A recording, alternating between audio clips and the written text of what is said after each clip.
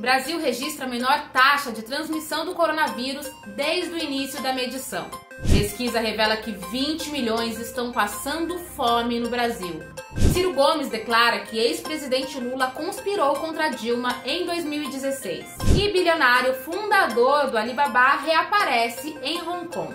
Eu sou Luciana Pioto e essas são as principais notícias da semana no Brasil e no mundo.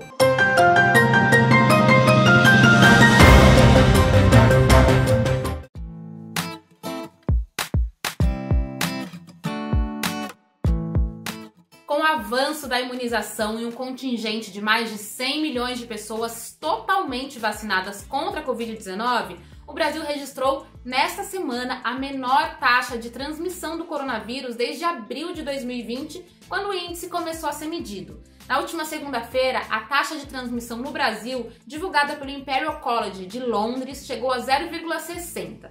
Isso quer dizer que a cada 100 pessoas infectadas, o coronavírus é transmitido para outras 60 pessoas.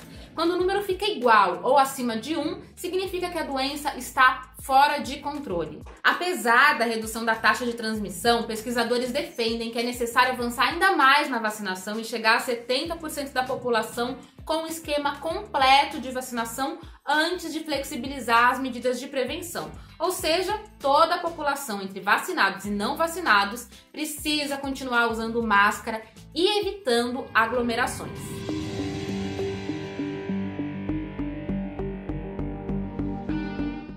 Por um lado podemos comemorar esses números referentes ao coronavírus, outro problema que também mata está presente na vida de 20 milhões de brasileiros: a fome. De acordo com o levantamento da Rede Brasileira de Pesquisa em Soberania e Segurança Alimentar e Nutricional divulgado esta semana, quase 20 milhões de brasileiros declararam passar 24 horas ou mais sem ter o que comer em alguns dias. A pesquisa ainda indica que mais de 24 milhões e meio não têm certeza do como vão se alimentar no dia a dia e já reduziram a quantidade e a qualidade do que comem, e que mais da metade dos brasileiros sofriam algum tipo de insegurança alimentar, grave, moderada ou leve, em dezembro de 2020. No início do governo Bolsonaro, o valor da cesta básica em São Paulo, calculado pelo Procon de São Paulo e o DIESE, equivalia a 71% do salário mínimo. No fim de agosto passado, chegou a 98%. No período, os produtos da cesta básica aumentaram 52% e o salário mínimo pouco mais de 10%. Além do aumento da insegurança alimentar, o alto desemprego e a queda da renda nos últimos anos fez explodir o número de favelas no Brasil.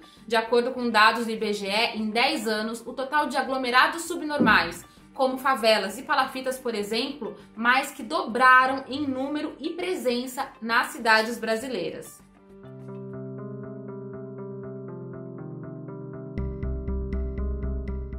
Na política, o pedetista Ciro Gomes causou alvoroço ao declarar que estava seguro de que o ex-presidente Lula havia conspirado para que Dilma Rousseff fosse retirada do cargo no impeachment de 2016. Em reação, o Lula chamou Ciro de ignorante e sugeriu que o político que foi infectado pelo coronavírus em outubro de 2020 tenha tido sequelas cerebrais da Covid. Dilma foi ao Twitter desmentir Ciro. Abre aspas, mais uma vez mente de maneira descarada, mergulhando no fundo do poço. O problema para ele, Ciro, é que usa esse método há muito tempo e continua quase uma década com apenas um dígito nas pesquisas. Fecha aspas, foi o que afirmou a Dilma. Mas afinal, o que quer Ciro Gomes com esse ataque? Confira aqui no Yahoo a coluna do Matheus Piccionelli que explica a provável estratégia do pré-candidato do PDT à presidência em 2022.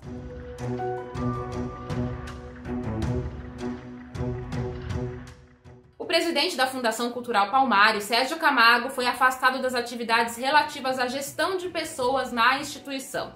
Com a decisão da 21ª Vara do Trabalho de Brasília, Camargo está proibido de promover atos como nomeação, exoneração e transferência de servidores, além da contratação de empresas terceirizadas. O presidente da Palmares também está proibido de promover intimidação ou assédio pelas redes sociais contra servidores e ex-servidores da Palmares. As denúncias de assédio moral não são recentes na Fundação Cultural Palmares. Segundo relatos de servidores à agência Alma Preta, desde os primeiros contatos dos funcionários e ex-funcionários com Camargo, ele constantemente promovia terror psicológico durante os diálogos.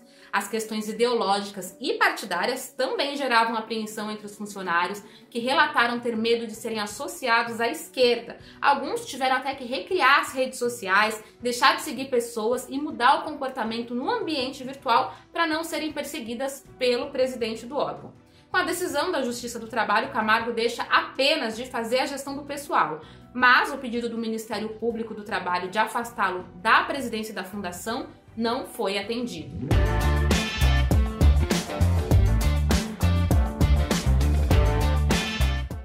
Após sumir do radar por aproximadamente um ano. Jack Ma se manteve discreto desde que fez um discurso em outubro do ano passado em Xangai criticando reguladores financeiros chineses. Embora Ma tenha feito um número limitado de aparições públicas na China depois disso, o sumiço do dono da AliExpress havia causado rumores até sobre a sua possível morte. Mas, de acordo com a agência internacional Reuters, o empresário está atualmente em Hong Kong, onde fez uma reunião com vários diretores das suas companhias e aproveitou para encontrar com outros parceiros empresariais na região. Será que agora sai a tão esperada e arquivada IPO da empresa? Eu sou a Luciana Piotto e esse foi o seu resumo de notícias da semana. Até o próximo sábado. Tchau, tchau!